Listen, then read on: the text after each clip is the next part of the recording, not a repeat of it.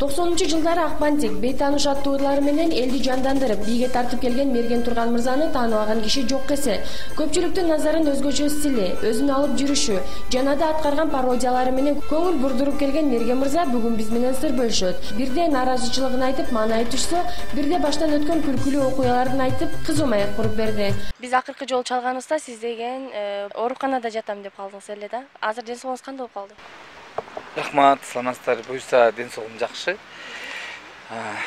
аман эсен чыктык жакшы өттү операция. Азыр болсо ушул өзүмө келип атам кичинеден сокур чек болдук адегенде эле учурда эмне менен алек болуп жүргөндүгүн билгибиз келди кудай кааласа быйылкы жылы жыйырма беш жылдык концертим болот. Сахнада жүргөнүмө жыйырма беш жыл болот. Ошол жыйырма беш жылдык концертиме даярданып атам бат элекен аркы дүйнөгө кетип калышпат элекен да ошондон. Кетсең кетип калат экенсиң өзүң менен көп нерселерди албай сырларды ырларды алып кетесиң ошондон кудай сактасын эми анда мына тыкылдатып коеюн андан кудай сактасын бирок эми ошол көптөн бери элимди сагынды болуш керек мен да абдан сагындым ошо концертимди берейин деп жүрөм буюрса ошого даярданып атам азыр ошонун үстүндө буюрса жаңы ырларым болот мүмкүн дыңкынын жаңы жоруктары болот ушундай бир жакшы бир шоу кылам деп атам элимди сагындым деп калдыңыз да сиз деген ошондо акыркы жолу качан жеке концертиңизди бердиңиз эле мен акыркы жолу беш жыл мурун бергенмин беш жыл мурун эки миң жетинчи жылы ошол филармонияга өзүмдүн шоумду бергем мерген шоу деп беш жылдан бери концерт бере элекмин дейсиз а беш жылдан бери чыгармачылыгыңыз токтоп калган жок да э беш жылдан бери чыгармачылыгым токтогон жери жок мен ойлойм эми анын ортосунда мисалы үчүн мен ырчылык ырчылык кесибимди да көп улантпай токтоп калса дагы мен азыр парадис катары пародияларды чыгарып жанагы пугачева берка сердючка софия таро валерий леонтьев сыяктуу россия жылдыздарынын образдарын үнүм жандуу үнүм менен келтирип ошол ошого эме кылдым. Мисалы үчүн ошого мындай кандай десем ошондой мындай пародиялык пародия жанрында иштедим. Андан сырткары куудул болдум өзүңөр билесиңер. Эки миң сегизинчи жылы назира жеткен жеген образы менен гран прини утуп алдык. Болгон куудулдун баарын тең мурдун сүрдүк.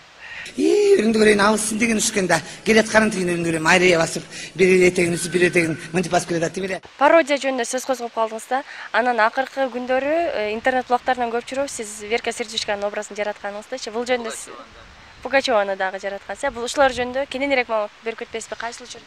Эми муну мен эки миң экинчи жылы алма ата шаарына барганда эки миң эки эки миң үчүнчү жылдары алма ата шаарына барганда эми аяктан эми кыргызча ырдасаң өтпөйсүң да. Кыргызча эч жерден укпайт ошо менен мен ресторанда кичине иштеп калдым. Эми ошо казакка барып өзүмдү көрсөтөм деп бардым. Кыргызчалар менен бир корпорация бар азат деген аякта. Үй курат. Ошоко барсам эле ошол жерде двойниктер жүрүптүр. Двойники шоу двойников деп коет экен өңдөрү окшош экен алар бирок эме фонограмма менен ырдашат өңдөрү алсуу жүрөт наташа королева жүрөт биздин бишкектик кыз экен юрий антонов дегендей анан бирөө бир аял келди эле орус аял татьяна деген келип эле мерген как вас зовут деди мерген эме миша ушундай бизге сен бизди напоминаешь бизге ушул кеме леонтьевка окшош экенсиң бизге леонтьев керек эле сен леонтьевди туурап бербейсиң бизге дейт ошо өңүңүз аябай окшош экен мындай эмеңиз. Ушундай фонограмма менен ырдап биздин эмеге кирбейсизби дейт.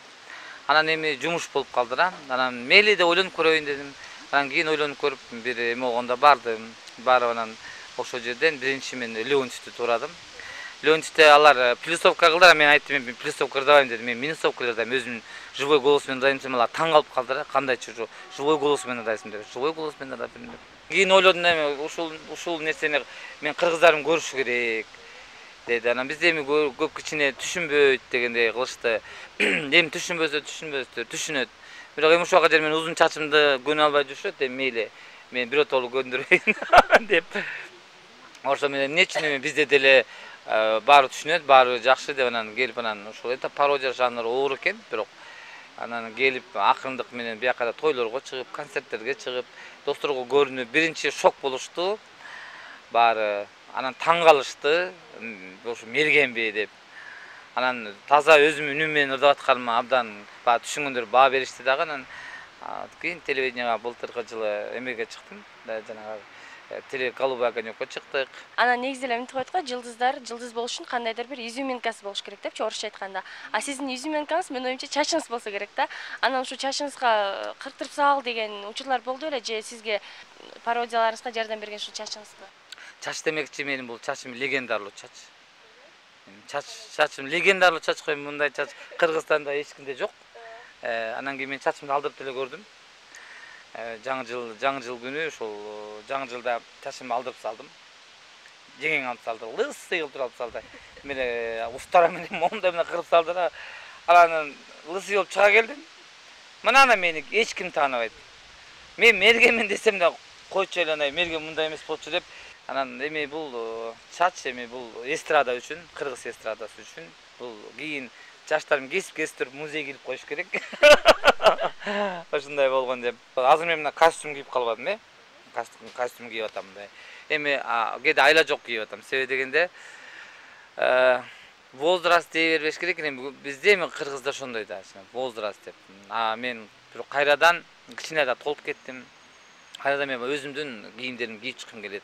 Баягы кулешторумду биякта мындай көйнөктөр мындай балахоновый көйнөктөр чачым да узун анан бийик такка кылып анан бир өзүмдүн бир образым бар эле илгери секирип билеп бир ушундай. Ошого эметким келет бирок эми ал возраст болот экен эми аны секирсем да туура эмес түшүнүп калышы мүмкүн. Бирок мен ошондой менин стилимде иштеген жаштарды көргүм келет бирок андай жок. Жок. Себеби дегенде мендей болуудан коркушат алар. Именно менин менин стилиме өтүүдөн коркушат. Коркушат деген дагы туура эмес болуп калат го дейм жасай алышпайт жарашпайт вот шын айтайын эми жарашпайт канча илсе салса жарашпайт анан сөз көтөрө албай калышы мүмкүн анткени артынан ар кандай сөздөрдү айтылат булар көтөрө албай кетет да. Муну мен гана көтөрөм кээде өзүм ойлоп коем өзүмдү пил окшойм депчи мен пил пил экенмин да мындай пил. Ушунча ушунча сөздү ушунча эмени көтөрөм кээде мен көчөгө жатканда мени карап эле каткырып күлө беришет а деп айрыкча жаштар деле ошондой эмнеге күлүшөт билбейм мен карап коем анан эмне болду деп коем десем кайра күлүшөт а мейли деп коюп кетип калам а менин ордумдан мүмкүн башка бирөөлөр болсо барып уруша кетмек же ыза болуп келип дагы дагы бирдеме кылышмак а мен өзүмдүн творчествомдун ортосунда менин артыман көп сөз айтышты да аябай жаман кылышты да мени көчөдөн сөккөндөр да болду а бул кайсы убакта болду ушундай нерселер кандай ошоктор чыгып где то токсонунчу жылдары болду эми токсон эки миңге жерин көп эле болду анан кийин афишамды тыткан күндөр болду афишаларымды алып ыргытып такыр тытып ыргытып салган күндөр болду телевидение радио жактан дагы кандай бир эмелер болду кээ бирөөнө жакпайт такыр алып салган күндөр болду таптакыр эле чыгармачылыктын башында мага мындай костюм кийгизип көрүштү бир көйнөктөрдү киргизип кийгизип көрүштү но карасам мага жакпайт да такырчы анан бир эже бар эле нарын театрында жаңыдан иштеп атканда мен анан жаш баламын могу бала могу бала дейт эчтеке ойлоп жатып эле аябай кийим тандайт экен могу бала деп мени урушуп атат да кийбей койдум да анан мага анан мен муну кийбейм дедим. Анан анда мен муну айттым мен муну кичирейтем дедим. Моундай ушубай дедим моундай кичирейтем десем тийбей дейт. Анда тийбесе анда мен муну кийбейм дейм анан кийин эмне кылабыз деп атабыз да. Анан кийин мен айттым эми өзүм сатып алганда алмалы да башкача болчу анан. Азыр айттым болгон костюмду көрсөтүңүзчү ушунун арасынан өзүм тандап кийип алайын деп. Анан тандап тандап тандап турам бир могу могу жерде моундай фонарик болгон моундай бир ак көйнөктү кийип таап алып кийип алдым да ошончо чоң размер чоң экен бирок кичирээк размер кийин таптык. Ошону кийип алсам эже таң калды да айран сен эл кийбеген эмени кийет экенсиң да муну эч ким кийбейт муну деген кийбейт эч ким. Баары мындан качат да сен ушуну алып киесиңдер депчи анан мен айттым сонун дедим да бул сонун кийбесе мага бериңиз мен мен ушуну кийем деп анан карашы менен ошо бир сүрөттөрүм бар мындай эме кийип чыкканымды анан кийин мен өзүм тиге баштадым негизи өзүм тиккенди жакшы көрчүмүн акырын отуруп алып эле тигип мен көбүнчө бийлеп секирип андай ушундай эмелер кылчумун да даже керек болсо мынтип жанагындай акробатский эмелер жасачумун бутумду моундай тип тик көтөрчүмүн моундай стойка моундай турса бутумду моундай теп мындай кылчумун мынтип анан мынтип тепчүмүн ушу жана стадиондо концерттерде ушундай класс көрсөтчүмүн да бир жолу ошто бийлеп атып ошол костюм ушундай ушунчалык өзүмө жакшы эме жарашып анан ыңгайлуу болчу да автобустун үстүнө чыгып кеткем деп атырмын автобустун үстүнө чыгып алып ошол жакта бийлеп атсам ичинде артисттер отуруптур да монтип сакалдар ким десем мерген үстүндө жүрүп атып и ошока жетиштирбейми деп артисттер ошока жерин күлүшөт анан ырдап бүткөндөн кийин түшө албай калып атпайбы эме жерге түшө албай калып эми мен түшүрүп десем кандай чыксаң ошондой түш деп атпайбы анан секирсем тиги автобустун мурдуна секирип түшүп анан мурду кыйшыйып калып тиги бала келип ака төлөп бериңиз дейт ай үкем төлөп бере албайм муну дайыма жазып кой жерге мерген турган байкем секирип түшкөн это легендарный нерсе болот десем кыйырып күлөт кайра ыраазы болуп кетти чын эле чын эле деп. Анан мен айтып атпаймынбы мен күндө эле эмне тиги автобуска секирип атыптырмынбы бүгүн сен автобуска секирдим деп. Ошондой эмелер болгон да ал айтып аткан себеби ушул.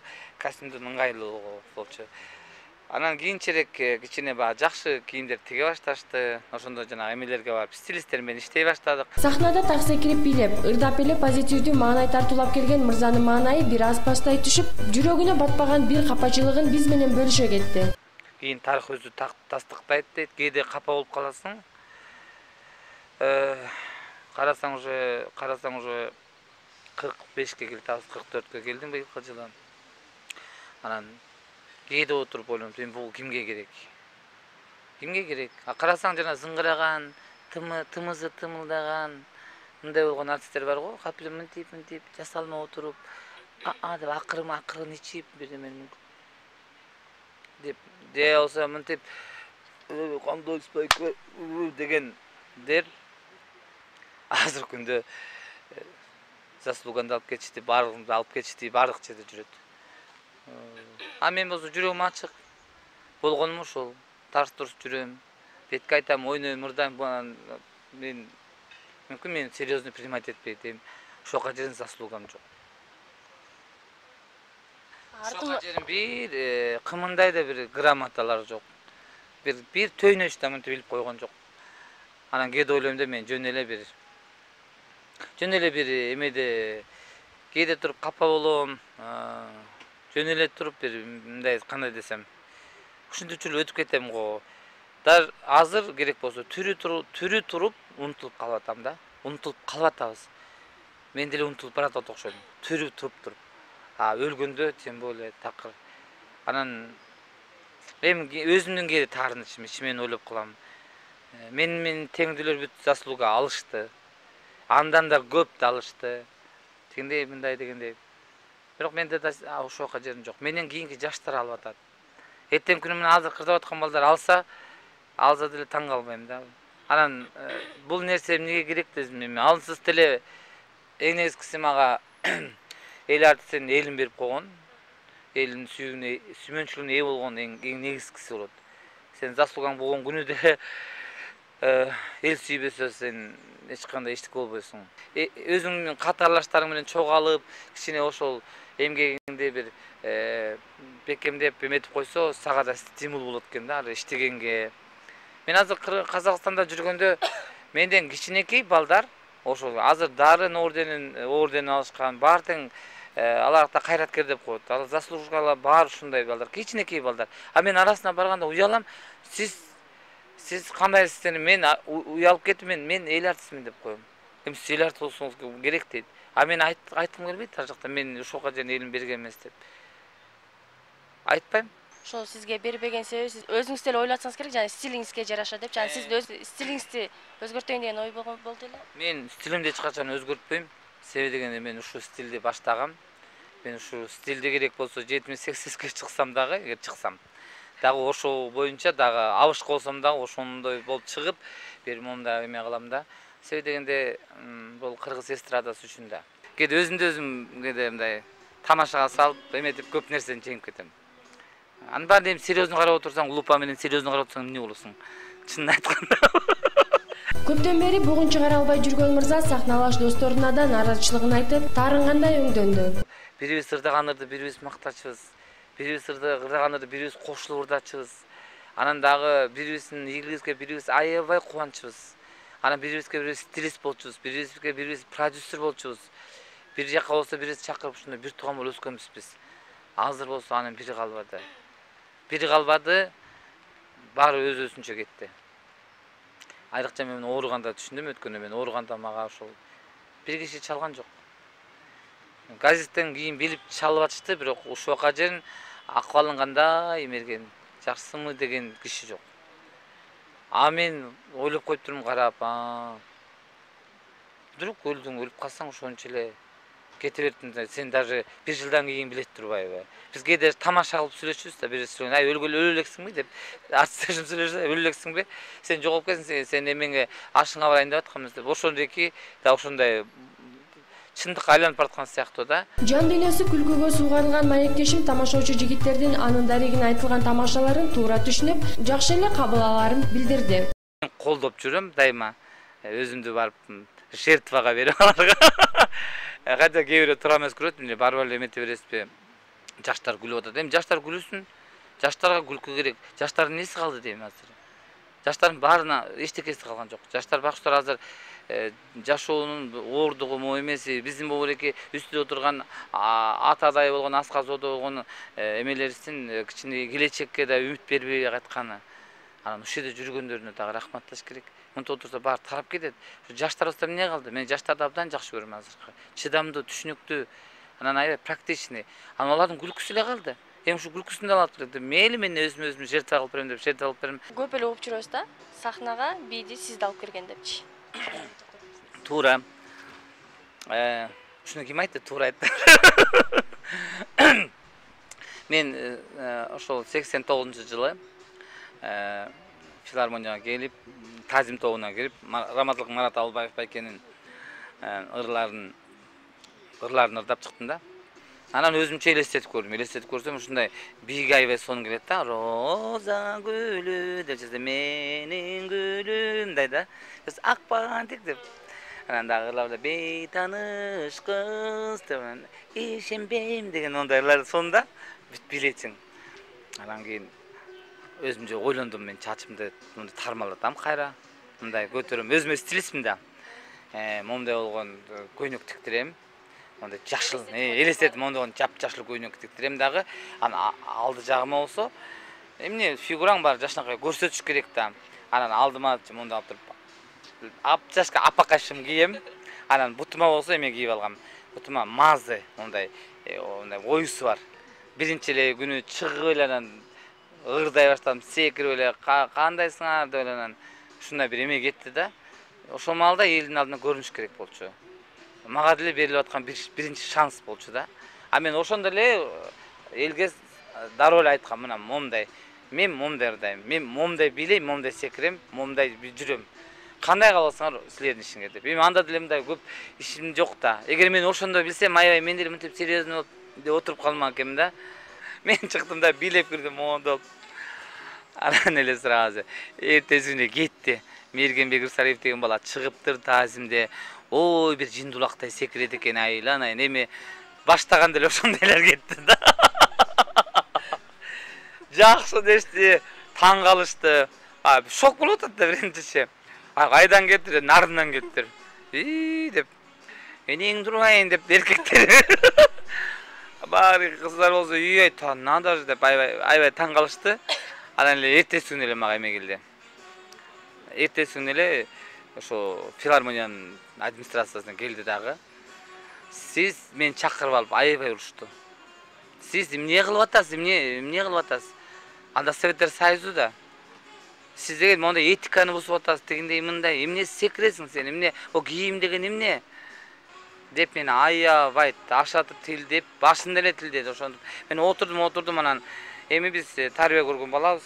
Карадым да анан мен кечирим сурадым кечирип коюңуздар мени менден келсе кечирип коюңуздар бирок кечээ мен сахнадан көрдүм ушунча бир кыргыз эстрадасында бир башкача бир элдер ушундай бийлегиси келип отурду ушундай бир сонун отурду мен жамандык деле кылган жок окшойм мен ал жерден өтө деле эме көрсөткөн жокмун ошо чучуктай шымым эле болбосо силерге но мен жаш балам мага жарашат сахнага жарашып турат десем сен жарашканды биз айтабыз деп ал маалда ошондой болчу да анан мен мага запрет кылышты дагы мени бошотмой болушту булар статья менен бошотмой болду эч жерге статья менен бошотобуз деди сен эч жерге вообще эчтеке албагыдай кылып мейлиңер дедим бирок эң негизгиси мен көрсөтүп алдым дедим эртеси күнү дагы звонок анда үйдүн телефондорунда сотка жок болчу алсам филармонияга срочно чакырып атат деди келсем келсем кассадан билеттин баары өтүп кетиптир концертти сурагандар толтура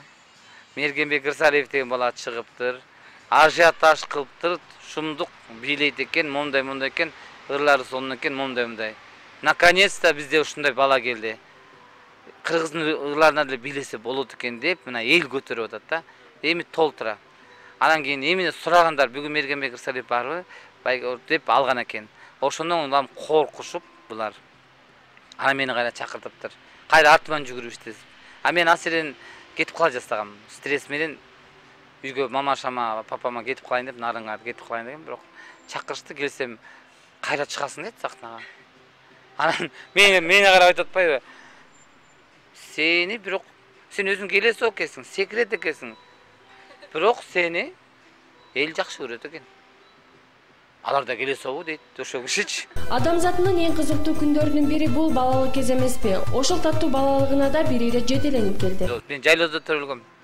Боозсүрдүн ичинде силер сыяктуу больницада киндиңерди кесип мынтип медсестралар көтөрүп мындай эмес мен жөн эле балт жатырып эле тиги. Кыкка бет менен түштө койбоймбу мен э, бала кезимде эме болчумун.